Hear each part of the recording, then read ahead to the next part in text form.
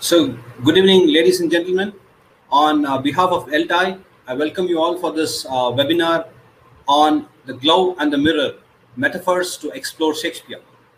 Uh, so, before we move on to the session, I uh, request the audience to uh, watch the prom clip of ELTAI.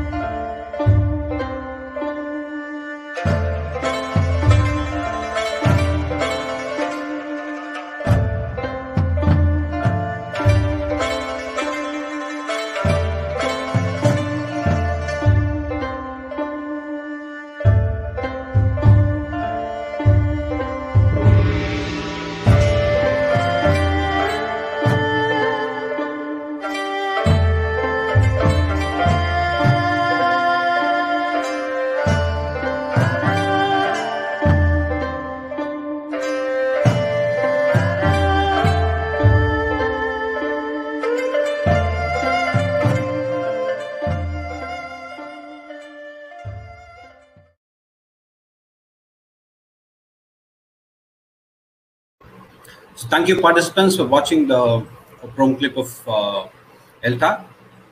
So we have with us uh, Dr. Aswathy A, Assistant Professor of English, and NSS College of for Women, Thiruvananthapuram. She'll be moderating uh, the first part of the uh, webinar.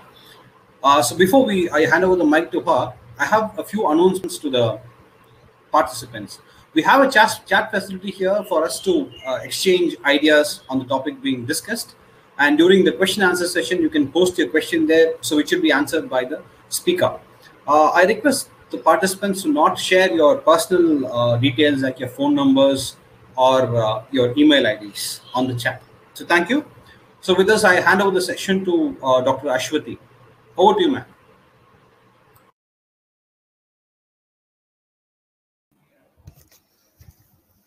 Thank you, Sam, sir. Am I audible? Sure. A warm and pleasant uh, evening, one and all, and welcome to the 62nd webinar of ELTAI. With me, I have uh, Dr. Aysha Swapna K, who is Assistant Professor of English and who has been working in the field for more than two decades. She is working at uh, Farook College, Kozhikode, Kerala. And she is a moderator with me here in this evening. And I welcome Aysha to this uh, webinar. Now to the speaker of the day and to the topic. With us today, we have Mrs. Talitha Mathew, who is a passionate teacher, a brilliant journalist, and whatnot, a consultant of English language teaching who has been associating with British Council of India for a long time. So talking to her other day was an experience for me because uh, I could know her relentless passion for teaching literature, learning literature. And uh, ma'am headed the English department in the British school in Colombo. And her experiences uh, when teaching the A level and also the IB classes help her to mold her own strategies of teaching literature in different levels of uh, for different levels of learners. And she had a short training in Australia on English language teaching that also helped her to mold her own strategies. Then she is closely associated with the uh, Kochi Reading Room. So this made her close to the works of Shakespeare, which she was al already passionate about.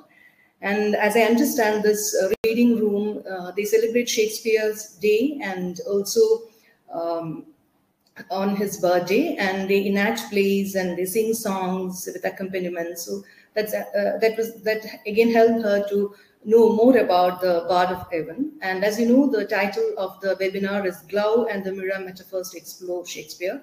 I'm sure she'll be introducing us to the metaphors of rereading Shakespeare. So on behalf of ELTAI, on behalf of each and everyone present here, I welcome you, ma'am, to this webinar and over to you, ma'am. Thank you.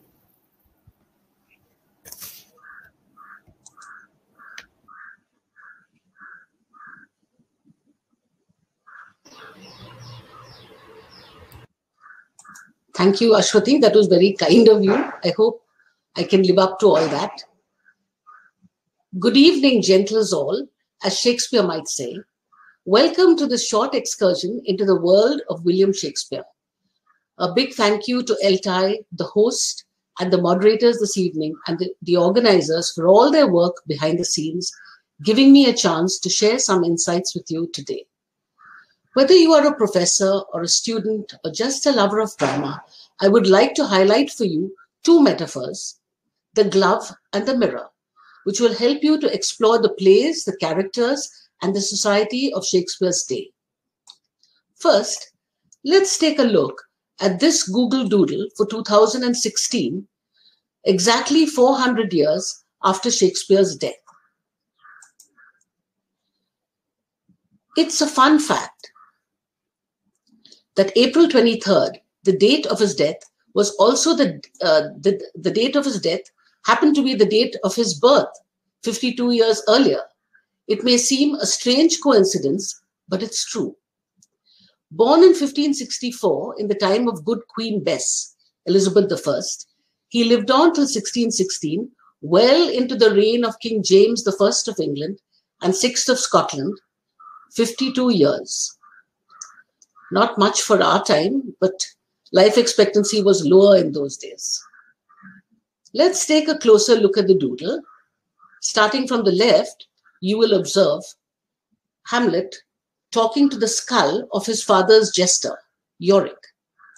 Maybe you can enter into your chat boxes the names of the other players you can identify. They're all numbered.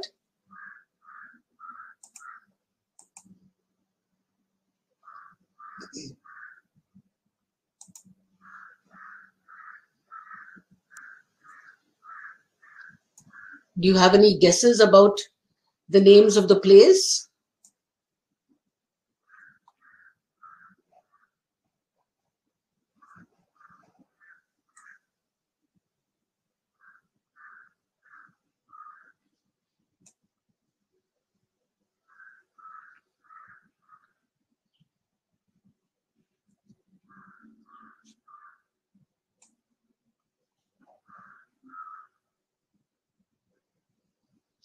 Right?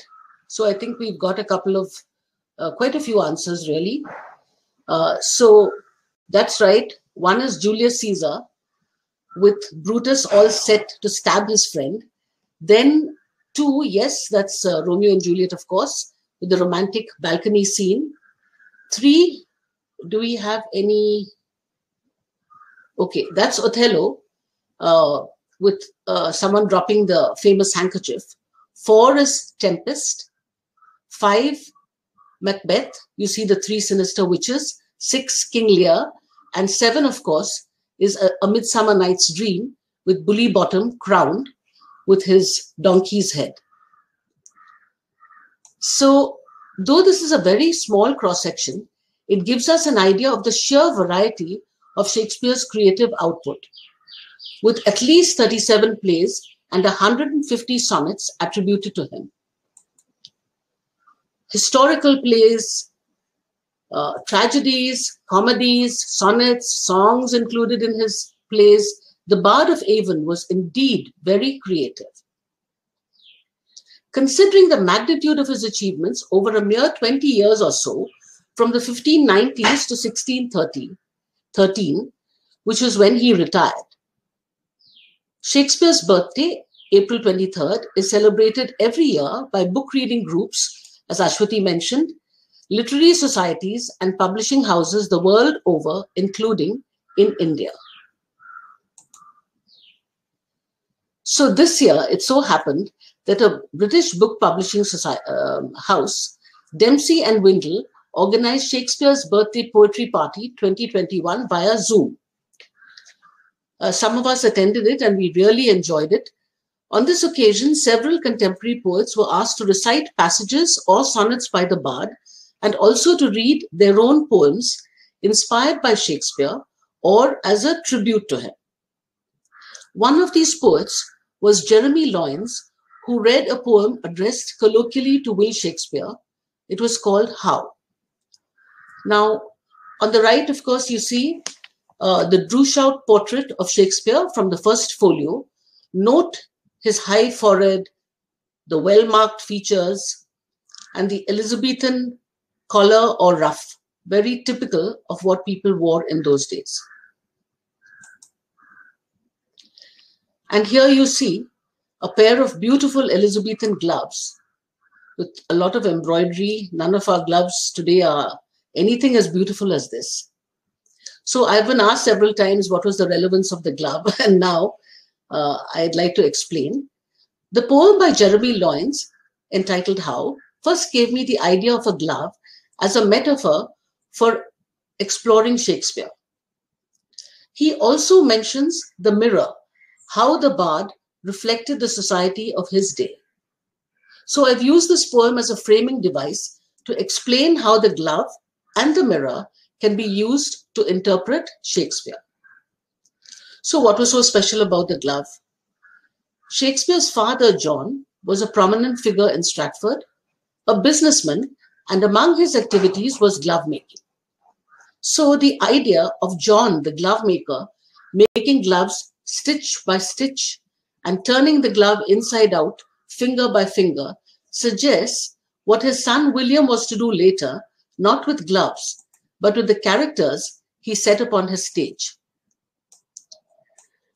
Now, part of this uh, idea of the glove is that the, the glove is stitched on the inside, right? And then you have to turn it inside out.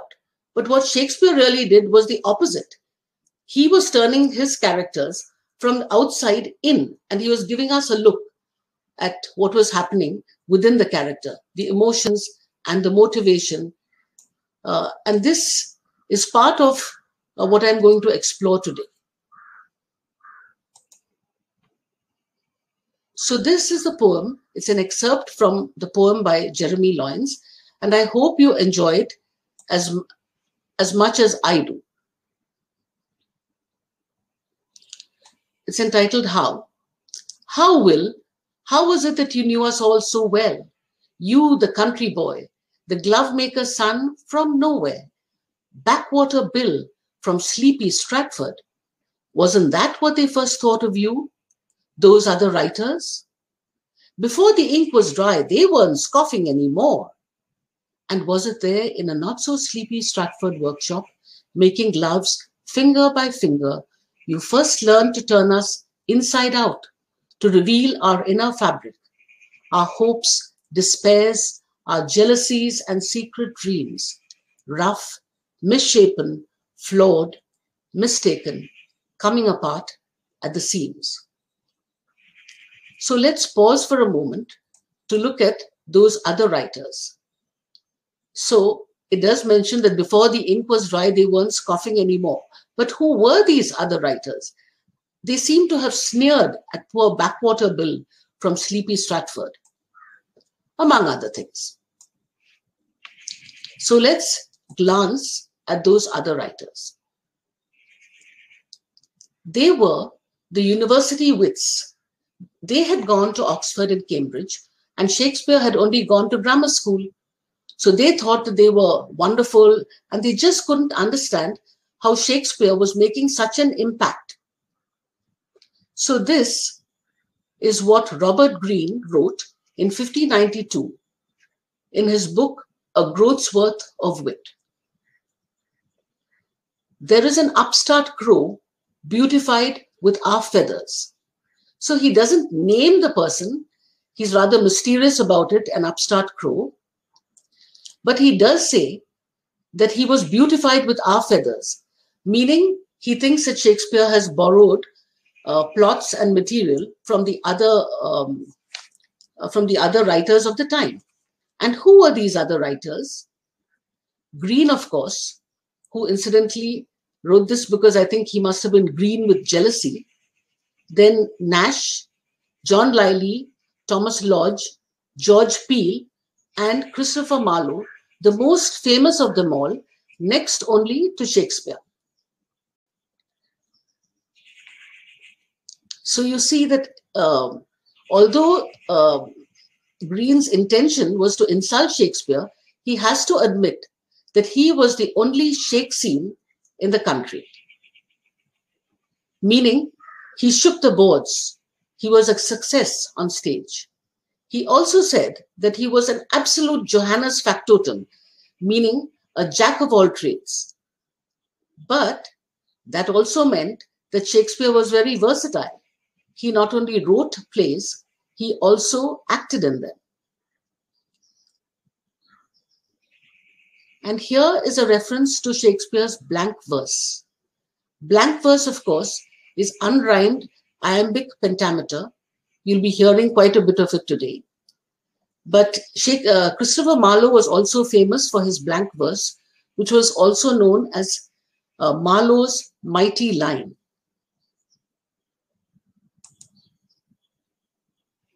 So now let's go back to what Jeremy Loynes was talking about. He was no university wits, wit. So how are our inner selves revealed by Shakespeare? This poet playwright who had learned the glovemaker's art of turning the human heart inside out. I thought we could focus on two passages, one showing Othello at the zenith of happiness and the other in the depths of jealousy. The noble Moor wins honor and respect in Venice through his military victories. Uh, here on the right, you can see Othello looking a little grim. I don't know why. And there are a couple of Venetian courtyards in the background, courtiers looking rather respectfully at him. But remember that Othello is not just a foreigner, he was a Moor, an African. He was black and had to fight the social stereotypes in Venice where this play was set a figure of romance to Desdemona who flouts her father's wishes and defies the prejudices of her day in choosing this rough soldier. It's a lovely love story. Unfortunately, it all went wrong. But what Othello knew is that she loved me for the dangers I had passed, and I loved her that she did pity them.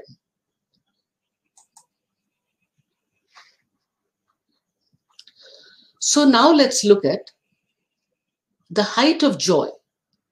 Othello expresses himself with all the force of his passionate character.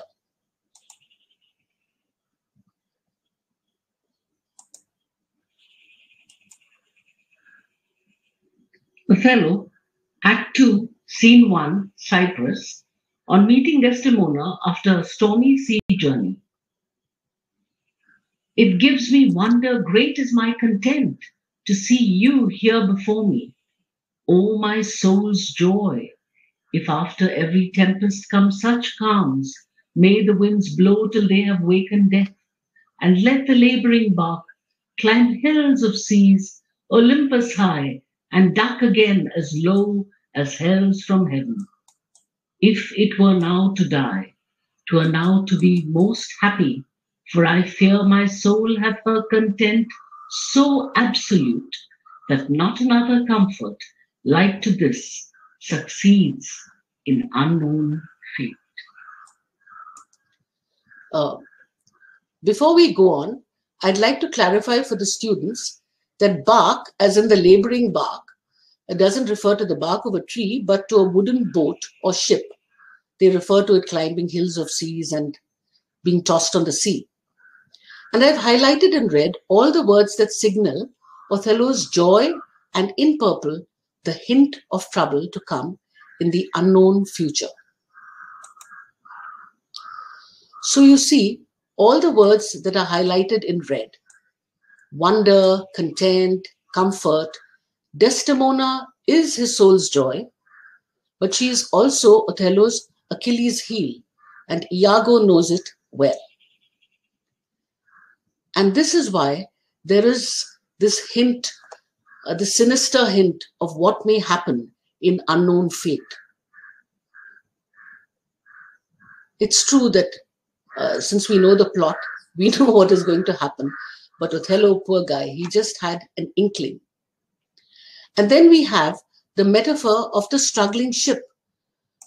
The struggling ship, which was being tossed to the heights of Olympus, Olympus being the mountain where the Greek gods were supposed to dwell in unclouded bliss. And then falling to, into the abyss. This probably indicates the hellish depths of jealousy that Othello was going to experience.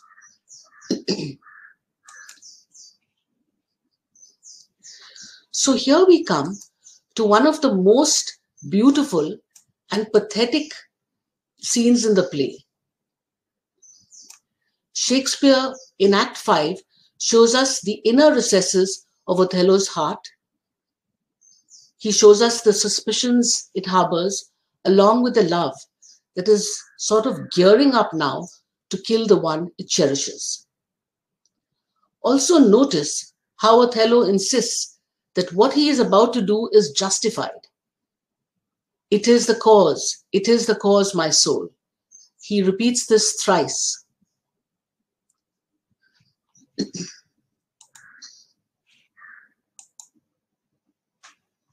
Othello, Act 5, Scene 2. It is the cause, it is the cause, my soul. Let me not name it to you, you chaste stars. It is the cause. Yet I'll not shed her blood, nor scar that whiter skin of hers than snow, and smooth as monumental alabaster. Yet she must die, else she'll betray more men. Put out the light, and then put out the light. If I quench thee, thou flaming minister, I can again thy former light restore, should I repent me. But once put out thy light, thou cunningest pattern of excelling nature, I know not where is that Promethean heat that can thy light relume. When I have plucked a rose, I cannot give it vital growth again. It must needs wither. I'll smell it on the tree. Be thus when thou art dead, and I will kill thee and love thee after. So, Othello takes us into the mind of a murderer. It is practically a guided tour. And we have many clues to the conflict within Othello, not the Sherlock Holmesian kind of clues with cigarette butts and fingerprints, but verbal clues and cues. So I've already spoken about it is the cause where Othello is trying to convince himself that there is a reason why he is going to do this terrible deed. And then he says, Yet I'll not shed her blood, nor scar that whiter skin of hers than snow. Isn't it ironical that Othello, a seasoned warrior who must have killed hundreds of uh, people in his day, hundreds of men in his day, now cannot bring himself to shed his wife, wife's blood nor scar, nor scar her skin, but she must die. Her beauty and her innocence almost overpower him. Then the beautiful and evocative lines put out the light and then put out the light. Yes, it would be easy to put out the light of the uh, bedroom lamp. And then when he puts out the light of her life, what can ever bring it back? What can recall her life? So, this is why he cries out in pain I know not where is that Promethean fire that can thy light illume. So, again, for the students in this group, uh, Promethean fire refers to the fire, the primal fire that Prometheus, the great titan, brought from heaven as a gift to mankind. But even this primal fire, this Promethean fire, cannot reignite a human life. And so it's amazing, I feel, how so much has been compressed and so much revealed of Othello's complex motivation in this single soliloquy. On the stage, and even if you're really listening, uh, there is terrific tension between the audience's sympathy for the innocent Desdemona, but at the same time, Shakespeare has managed to generate a kind of understanding of Othello. He is not justified, but he is torn between jealousy and love and I think we all do understand that.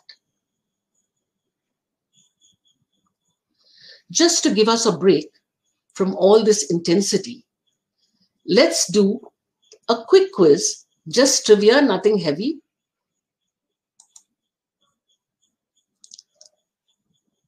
So again, in your chat boxes, uh, you might like to enter uh, the responses in wh whichever order you feel like. Some are easy, some are slightly more difficult.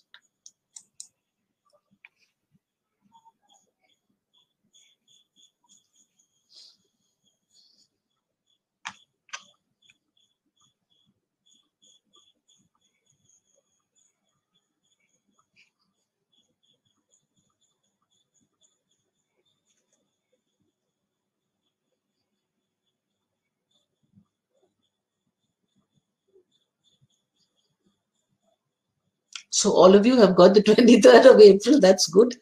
Good recall.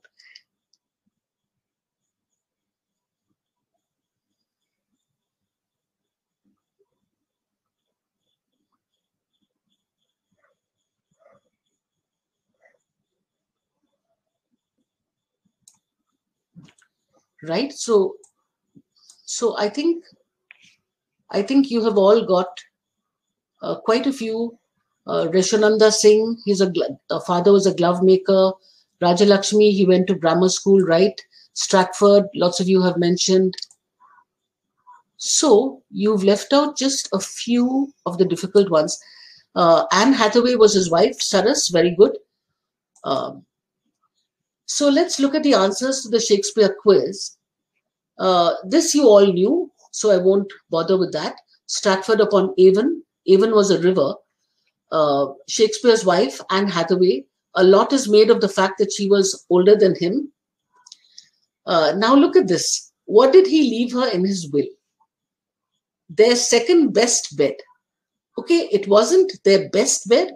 He is very specific about saying their second best bed, and behind this hangs, hangs a tale, but that's a conversation for another day. Then the names of his twin children were Judith and Hamnet. Uh, Hamnet, not Hamlet. And the boy, Hamnet, probably died of the plague. his eldest daughter was Susanna. Then his father's business uh, that you all knew. He went to school, right?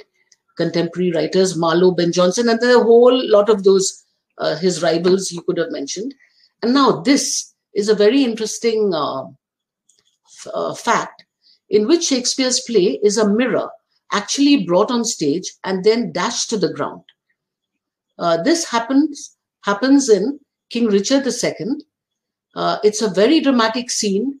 Uh, King Richard is uh, forced to hand over the crown to Bolingbroke, and he asks that a mirror be brought in, and he looks at it to see what his face looks like now that it is bankrupt of his majesty.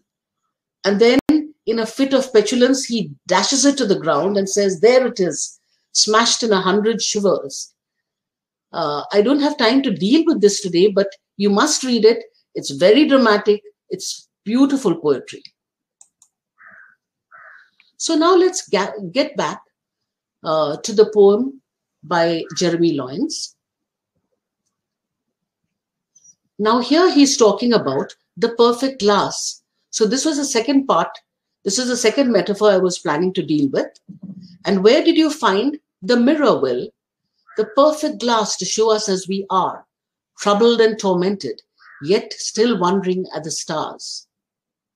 So this line I've highlighted in purple because I thought it summed up the conflicted, contradictory nature of human beings, that although we are deeply uh, tormented and troubled, we yet have this other aspect of wondering at the stars at the beauty around us.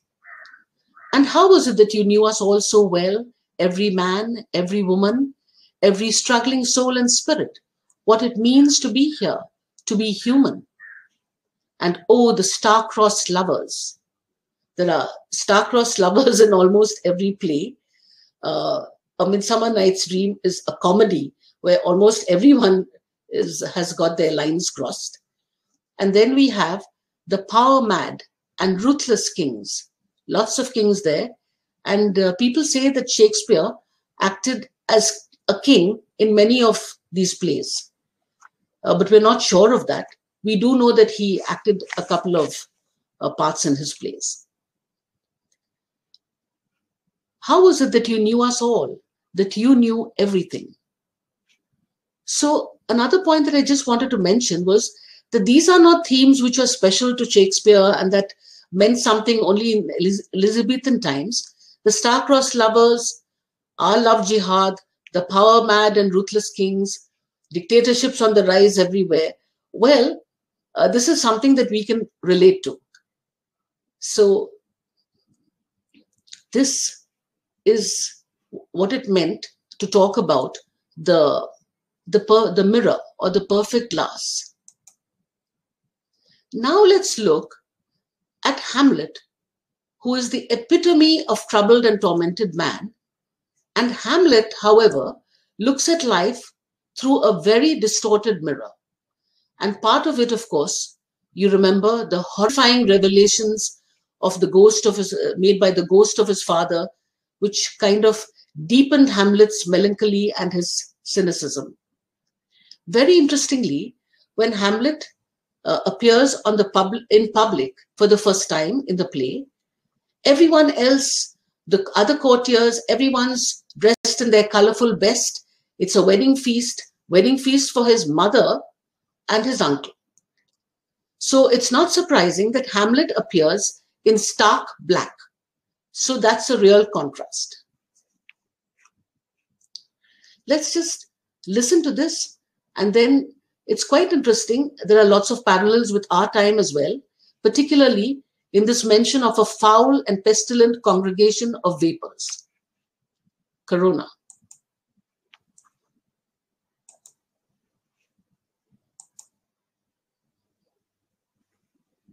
Speaking to Rosencrantz in Act 2, Scene 2, Hamlet says, I have of late, but wherefore I know not, lost all my mirth, foregone all custom of exercises. And indeed, it goes so heavily with my disposition that this goodly frame, the earth, seems to me a sterile promontory. This most excellent canopy the air. Look you, this brave o'erhanging firmament, this majestical roof fretted with golden fire. Why, it appears no other thing to me than a foul and pestilent congregation of vapors. What a piece of work is a man! How noble in reason, how infinite in faculty, in form and moving, how express and admirable, in action, how like an angel, in apprehension, how like a god, the beauty of the world, the paragon of animals. And yet, to me, what is this quintessence of dust? Man delights not me, no, nor woman neither, though by your smiling you seem to say so. So, I said before that Hamlet looks at life through a distorting mirror. I don't think anyone will argue that the world that Hamlet sees is the world as it really is, because he's looking only at the dark side. Hamlet's inner world is so dark that nothing, not even the beauty of the sky or the beauty of the earth, can impress him. This majestical roof, fretted with golden fire, to him is just a foul and pestilent congregation of vapors, a germ laden cloud of gases, very much as we think of the corona ridden atmosphere. We're not sure whether the coronavirus is transmitted uh, through air. So we have this feeling that we are surrounded by this cloud of gases which is poisonous. Worse than this, he is disgusted, not impressed at all by the great qualities of human beings, although he runs through everything in action, how like an angel, in apprehension, how like a god, the beauty of the world, the paragon of animals. But then he sums it up. But, and yet to me, what is this quintessence of dust? Man delights not me, nor woman neither. That, that line has been lost, I'm sorry. Uh, nor wo- woman neither, though by your smiling he was talking to Rosencrantz, you seem to say so. Now let's take a little bit of a break from the miasma of Hamlet's world. Moving away from Hamlet's melancholy and cynicism, it is but a step to Belmont, where we find a couple gazing soulfully at the stars. The mood is very different here Listen to the sound of music which Lorenzo suggests is the singing of the stars and planets. The Merchant of Venice, Act 5, Scene 1, Belmont. Lorenzo is speaking to Jessica, the daughter of Shylock the Jew. If Shylock had known about it, he would have been most upset. And later, when he found out about it, the poor man, you have to pity him. Uh, he he started yelling about my daughter and my ducats, my daughter and my ducats. He was equally upset about losing his money and his daughter. Anyway, that's uh, that happens later. So now let's just think about Lorenzo. How sweet the moonlight sleeps upon this bank. Here will we sit and let the sounds of music creep in our ears. Soft stillness and the night become the touches of sweet harmony. Sit, Jessica. Look how the floor of heaven is thick inlaid with patterns of bright gold. There's not the smallest orb which thou beholdest, but in his motion, like an angel sings, still choiring to the young-eyed cherubims. I always thought it was cherubim. I don't know what Shakespeare thought the plural of cherub was. Such harmony is in immortal souls, but whilst this muddy vesture of decay doth grossly close it in, we cannot hear it. So this, you will agree, is very different from the previous mood. And here we uh, should look at the language, the, the amazing flexibility and versatility of Shakespeare's lexis and his and the structures which help him to reflect Lorenzo's lyricism, his lyrical flights of fancy, as well as Hamlet's despair. holding the mirror up to nature. And in conclusion, we're nearing a conclusion.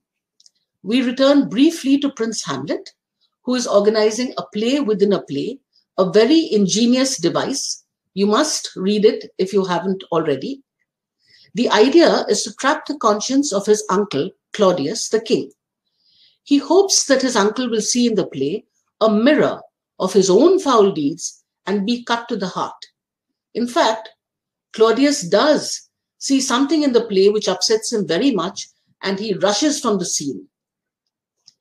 Anyway, uh, Prince Hamlet advises the actors of this play, play within the play, not to exaggerate, not to be bombastic, and explains why.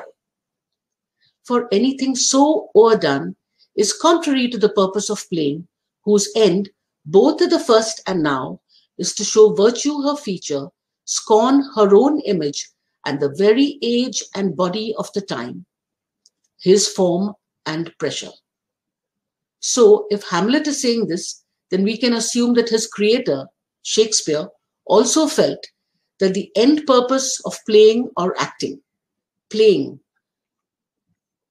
they called actors players and they called acting playing Elizabethan times. Uh, so Shakespeare would have felt that the end purpose of acting or playing is to hold the mirror up to nature, to show the individual strengths and weaknesses like virtue here, scorn, which probably uh, he's talking about pride and disdain and all the um, uh, and all uh, the less attractive uh, side of human beings, and also to reflect the age and body of the time. That is to reflect faithfully what was going on in uh, in that particular time. But what is interesting to note is that whether it is in L- Lorenzo's Belmont or Juliet, Romeo and Juliet's Verona, or in Hamlet's Elsinore, the world we see is more or less society as it was in Shakespeare's England. I don't think Shakespeare went and tried to find out what the customs were in Verona or in Venice. He wasn't bothered. It was just a setting, and his actors reflected uh, the world of Shakespeare's day and his and England. Let's go on now to our last excerpt from this play by Jeremy Loynes. And how is it that you knew everything? And how is it that what you showed us still touches us today? It seems we've moved on. We've changed, of course, in this most sophisticated age. But truth be told, you're still with us, and your text still burns upon the page. Yes, we've progressed, we have changed, lots of things have changed, it's a more sophisticated age. Then how is it that Shakespeare is still still relevant? How is it that his words still seem to burn upon the page, that people are still fascinated by Shakespeare? And he goes on, we're still captive, still listening, amazed, and we're still pictured in your gaze. So it looks as if it's not the actors, but the audience who is seen in Shakespeare's eyes. And uh, Jeremy Loynes concludes by saying, Yes, yes, we're still standing on your stage. So it looks as if the tables have been well and truly turned. We were, we were here to look at the actors and the characters and to see how uh, what they're like and what Shakespeare um, has revealed about them. But now it seems as if the actors and the characters are just people like us, and that we are the people who are standing on the stage. So I just thought that this would be an interesting thought uh, for you to take away. Just a minute.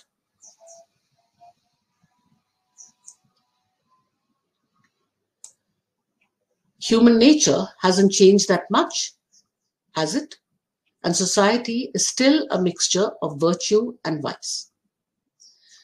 Before we call it a day, I thought I would play for you a song from Shakespeare. not many of us may be aware of the wealth of songs which brighten up the plays and give them a brisker tempo. Uh, I was lucky enough to have a teacher in college who taught us Shakespeare, and she also happened to be our music uh, teacher, our choir mistress. So she taught us a couple of plays. We, we didn't sing it very well, but uh, that doesn't have to happen. Um, so, as you might expect, the songs in his plays also unveil character and motive. And they set the mood, very important. So, this is the clown song from Twelfth Night.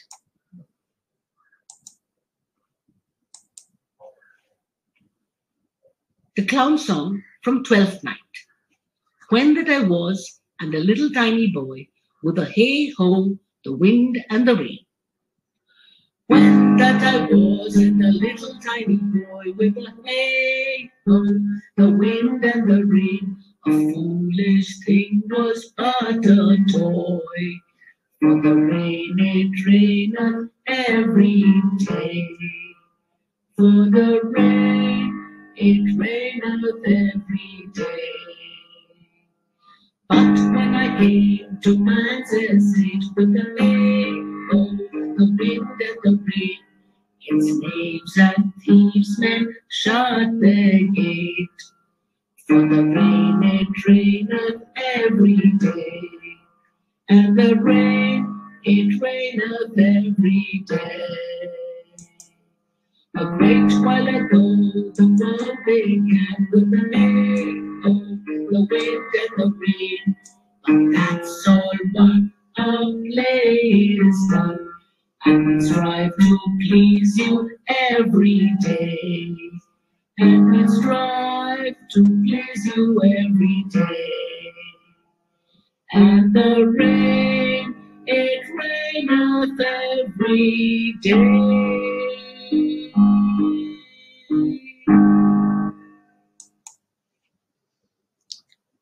So some of the more familiar songs are O Mistress Mine, Where Are You Roaming, also from Twelfth Night, The Willow Song by Desdemona in Othello, Fear No More the Heat of the Sun, a lovely requ- requiem, a funeral song from Cymbeline, Full Fathom Five, Thy Father Lies from The Tempest, and Where the Bee Sucks, There Suck I, Ariel's Song. I will now play Ariel's Song from The Tempest, sung by Maya Chandi.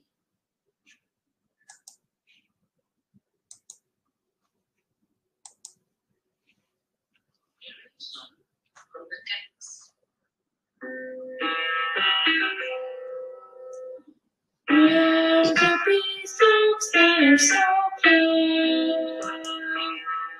In a cloud slips I lie. There I count when owls do cry, when owls do cry, when owls do cry. On a bat's path do I fly. After summer, memory, memory, after summer,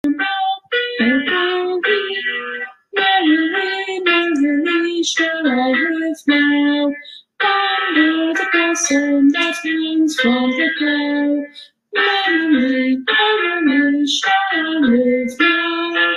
Under the blossom that hangs from the cloud, under the blossom that hangs from the cloud. So you see that in this song, uh, it's not just the beauty of the music uh, and the singing, uh, it's also that the essence of Ariel's carefree and light-hearted character are very delicately portrayed. So whatever Shakespeare writes works at different levels, and I think this is part of something that we need to do. Uh, let me move on uh, to a very brief postscript. I cannot overemphasize the importance of she- reading Shakespeare aloud.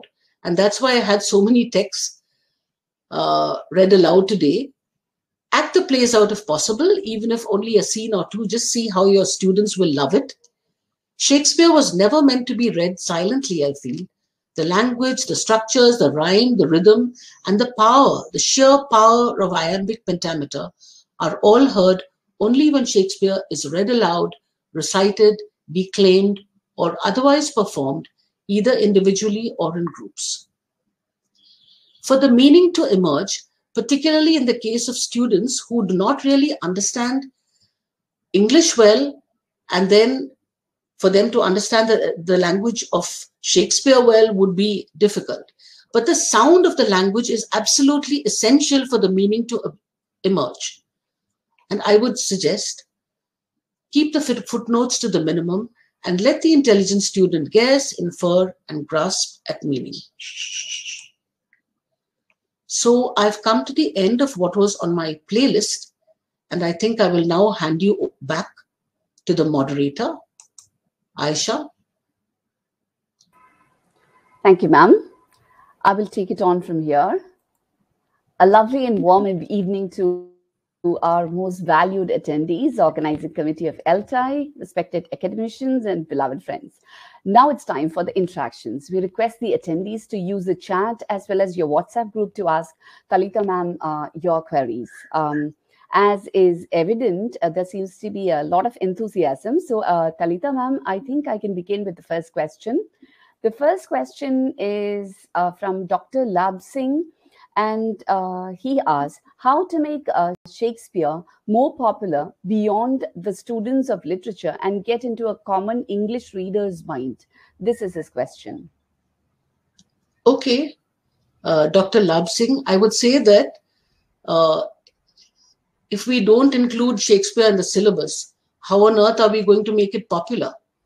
It isn't uh, just some, uh, Shakespeare isn't just a writer who wrote 400 years ago. I mean, he is a classic. He's so relevant, uh, as I've hoped, as I hope I've shown uh, to a, small extent in this presentation. And if people act it out a little bit, that would really make it come to life. Uh, I remember we had a Shakespeare week um, some years back, 2014 in Cochin, and we had invited some uh, students from St. Berchmans College and they acted some of the uh, scenes from Shakespeare, and it was beautiful. It was very came came alive. Uh, ma'am, the next question is from Miss Lakshmi. Uh, she says the new generation feels reading contemporary writers would help them con- connect better with the world. The universal appeal of the bard is something they are oblivious about. So, what is your take on this trend? Uh, well, it's the same basically as what I said before. If uh, teachers of English feel that um, Shakespeare is irrelevant, then the new generation is never going to uh, encounter Shakespeare. But you know, the new generation would respond, I'm sure, if they were shown clips uh, of movies, uh, audio clips or film clips, and that would make uh, Shakespeare come alive to them, and that would intrigue them and want them to know more about it. Just to give you an example, you know that mirror scene. Why I didn't include it today is because I keep talking about it in every uh, Shakespeare Day we have. But you know, when you hear about somebody who asks for a mirror to be brought in and then smashes it on the ground, don't you think that that would be intriguing to the student? So I think the point is we need to know a lot about Shakespeare and then we can make Shakespeare come alive for our students. Uh, we have a very interesting question from Dr. P. N. Ramani. Uh, it says, Isn't it true of all great literature that it is a mirror up to nature? How was Shakespeare different or unique in this re- uh, respect? No, no, obviously, I mean, all great writers and even poor writers, I guess, uh, would hold a mirror up to nature. But the point is, how effectively do they do so? And you see, uh, what I've trying to try, uh, tried to show is that there are subtleties that Shakespeare can bring out. I'm not saying that he's the only one who can bring it out. But for instance, we see Hamlet looking at the world through a distorting mirror. So he is uh, Shakespeare is holding up a mirror to nature, but here in this case, it's something that shows you the world as it isn't really. This is the world of uh, Hamlet's mind, and I'm sure this would be very interesting to students of psychology as well. So we could have a lot of uh, uh inter-subject discussion on this. Yes. Uh, there is a question from uh, Ms. Arunima who says, How is it possible to simply uh, teach uh, Shakespeare for young children? Plus, there is another interesting uh, question from Dr. Seema Singh who says, Do you think that uh, Shakespeare's warm understanding of human beings and his humanistic insights is what makes him relevant even today? Well, the question Sorry. connected, ma'am. Could you take that? Yeah, okay.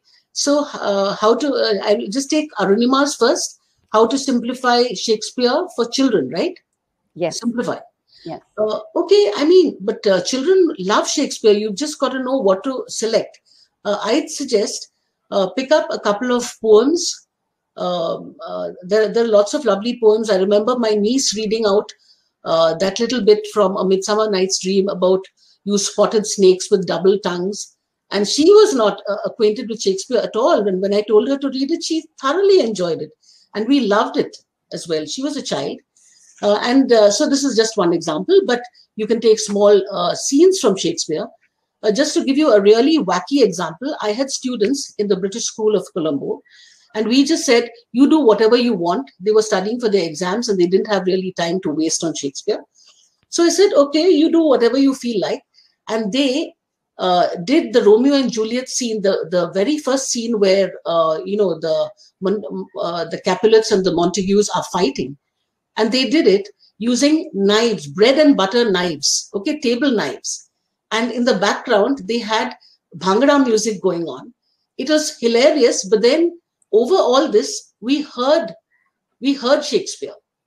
So there's no end to what you can do. I mean shakespeare is a storehouse. He's he's just amazingly versatile All right, ma'am. Uh, there's a question from Mr. Inamul Kabir Pasha and Dr. Vaibhav uh, Shabhi. Uh, now, uh, Mr. Inamul says, What place should we give to Shakespeare in the time of popular literature? And Dr. Vaibhav is asking, Dear ma'am, what is the contemporary relevance of uh, Shakespeare's literature, which you seem to have partially answered? Would you like to add on to that? Hmm, sorry uh, could you uh, huh, okay right what place should we give to shakespeare in this time is that the one Yes, yes, ma'am. uh, in this time of popular literature. Okay, uh, Shakespeare is popular. He's extremely popular. So, I mean, uh, the point is, if we, I mean, okay, we are not Britishers, but you know, uh, when I, uh, on a visit to the Globe Theatre, I found that there was a Lithuanian group acting Hamlet.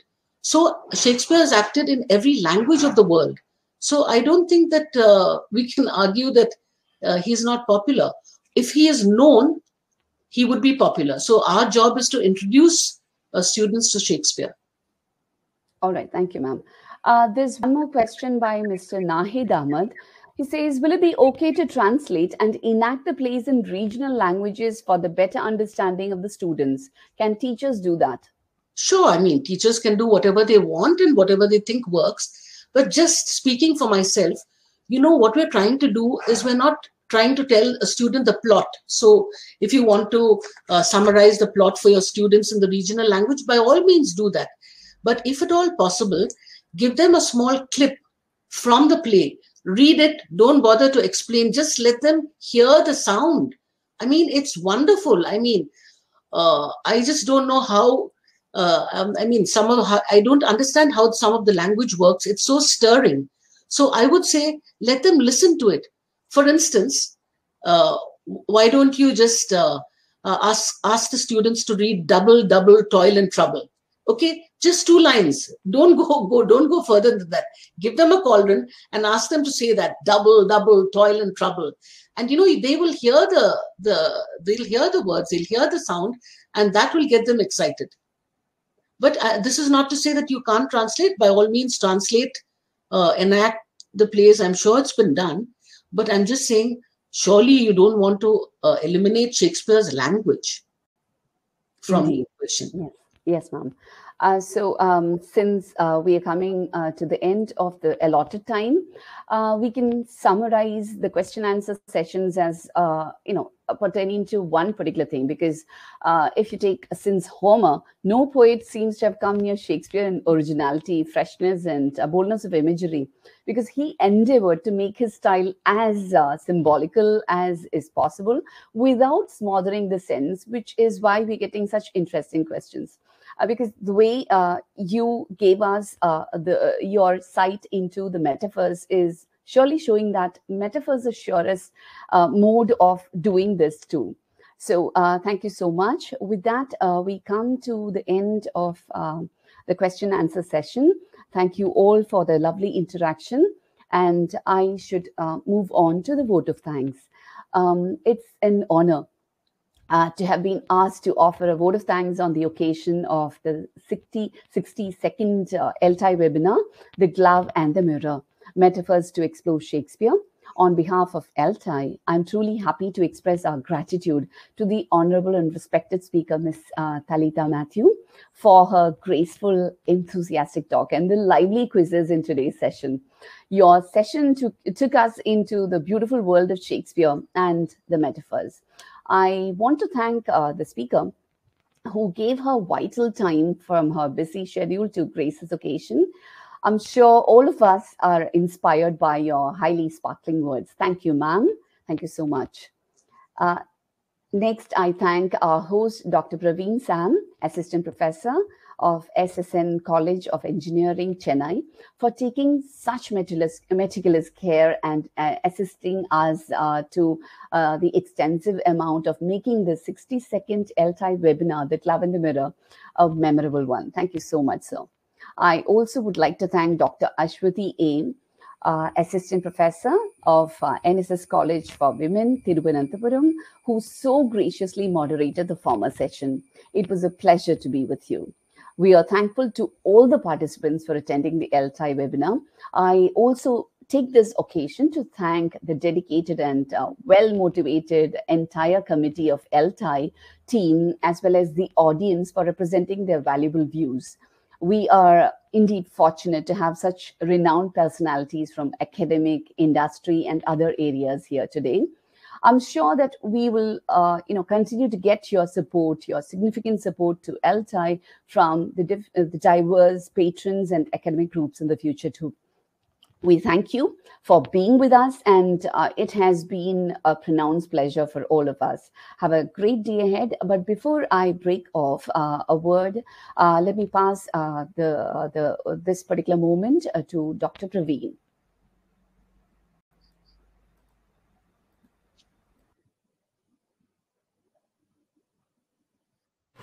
Uh, thank you, Aysha, ma'am. Thank you, Aysha. I mean, thank you for this encouraging and uh, beautiful moderation. Uh, dear uh, participants, thank you for uh, patiently listening to the webinar and thank you for asking those questions as well. Uh, so here I have uh, a few announcements. Uh, first is, as you see on, on, the screen, it's our next webinar, webinar 63, titled Empowering Teachers to Integrate Technology, Challenges and Solution. the resource person will be Dr. M.S. Xavier Pradeep Singh, Assistant Professor of English, St. Joseph's College, Tiruchirappalli. Uh, also, I have another announcement. Um, this is about uh, a eight-day FDP uh, conducted by ELTAI in association with uh, Sri Ramakrishna Engineering College, Coimbatore, uh, on reading back to basics from screen flippers to page turners. So the uh, the date uh, of the I mean of the FDP program starts from 23rd uh, to 31st of August 2021. So I request the participants to uh, participate in these events and continue your learning experience. Thank you so much. Have a good day. Bye. Thank you, ma'am.